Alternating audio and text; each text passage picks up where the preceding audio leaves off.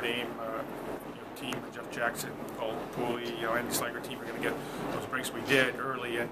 Um, and we capitalized on them. We haven't scored a lot of goals this year. We've been around three or four, and those you know, went our way early on. And and then the toughest thing is when you're up and holding a four or five goal lead is just keeping your players focused. At times, uh, I thought we got out of our game plan a little bit and tried to do a little too much and, didn't execute, and we were able to bring them back a little bit, and then um, you know, we, we continue to uh, when we forechecked well, we created some opportunities for ourselves and got some goals. And uh, it's one night.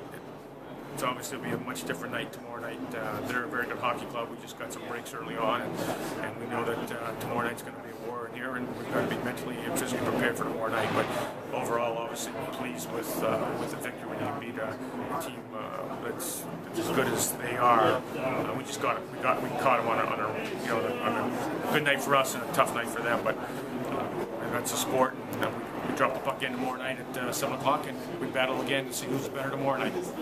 What do you say to your team after you know you win nine to two, and then you have to go and reset for tomorrow night? You're riding this big high. What do you say to your team to you know reset them for tomorrow?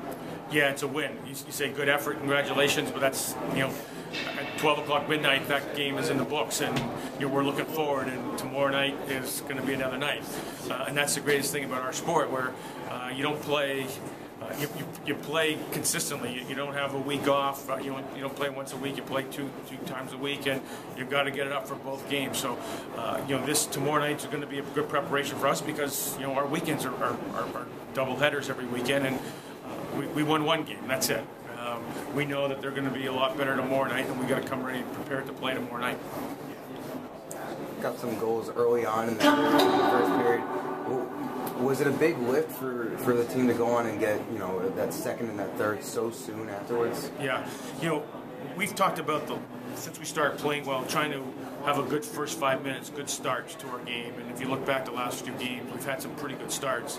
Um, even at Michigan, where we gave up a goal, but we had a good start. We had some chances. So um, the guys are, are have responded in those first few first few minutes, and and obviously with uh, with tonight's game you know, we got some breaks early and we went to the net. So when you go to the net, that's that's a good thing. And we scored. Obviously. I was going to say, you know, it seemed like you guys were able to get in front of the net, and uh, you know, it seemed like they gave you some room, but you guys took advantage of that. And where some games you're going to get a lot of chances, but not actually finish. It seemed like you guys were just finishing everything. That was good. Yeah, no, it, it, you know, it's one of those nights when pucks went in for us. You know, as you know, we've had a lot of good chances during the course of the year and haven't been able to uh, capitalize, and pucks were going in for us tonight. So, but when you go to the net, good things happen. And when we went to the net tonight, I thought pretty hard, and particularly in that first period, and we got pucks to the net. So, uh, you know, the shots again, you know, we'll get outshot in a lot of games. We're looking for quality of shots, and uh, I thought for the most part we kept Notre Dame, other than on the power play, we kept them to the outside on some of the shots, and uh, so you know we were happy with, with our effort in, in capitalizing on the amount of shots that we had.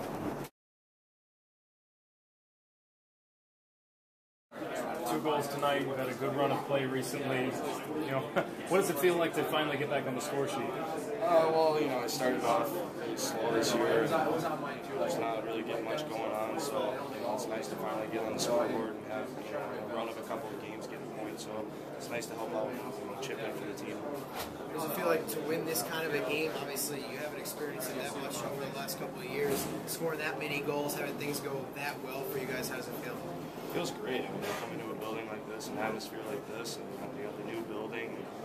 They're, they got a good team over there. It's nice to uh, it's nice to get two points against these guys. Playing with uh, Ludwig and Vinny, it seems like you guys are really started to click and, and click you know, consistently.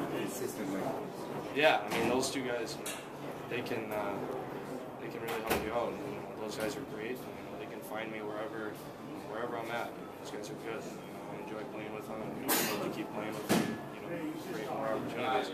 How do you reset for tomorrow night? You know, they're probably going to be coming out fired.